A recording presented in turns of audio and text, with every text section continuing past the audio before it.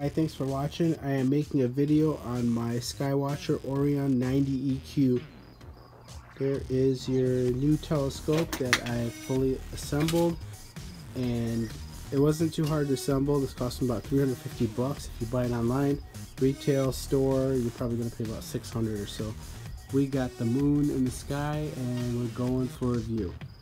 Let's see what we can get. All right, got it assembled. This is your um, I don't know what the heck you call it, whatever you call it, but you can use this to aim on the moon.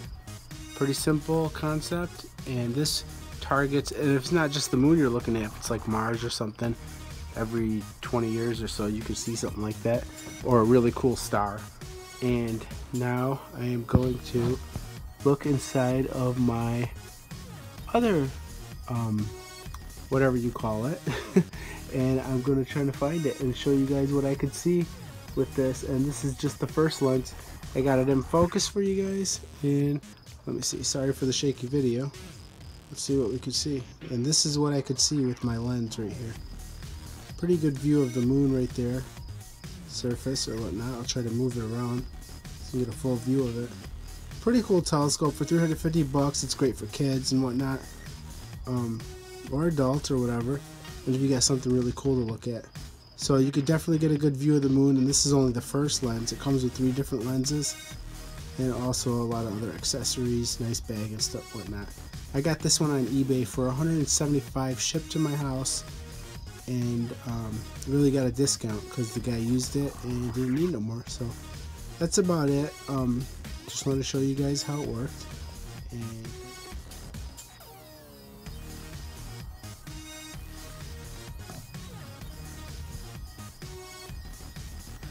This telescope does come with three other lenses. Um, I'm not going to get into that. I don't even know if this is the best one or not.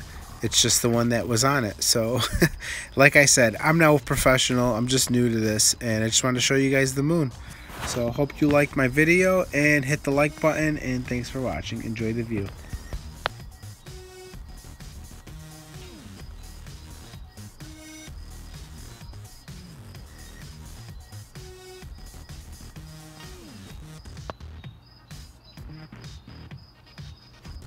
Oh my gosh, I think I see the flag from the Apollo from 1960. Oh my god, so cool.